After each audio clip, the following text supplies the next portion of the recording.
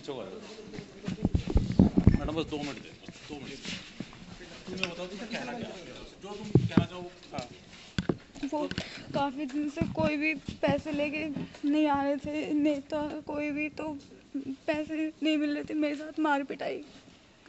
हो रही थी घर में बहुत ज़्यादा और जान से मारने तक की साजिश मैंने खुद कुछ सुना था। क्यों?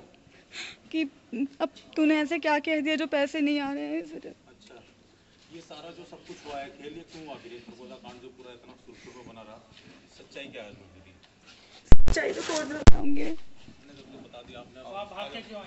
अब घर से क्यों भागी? मैं जान बचा के आई अपनी मेरी मार पिटाई कर रहे थे। क्यों कि ऐसा क्या कारण रहा पैसे की वजह से। अब कहाँ जाना अब कहाँ जाना चाहती हो तुम? मुझे यहाँ पुलिस की वजह ठीक ठीक।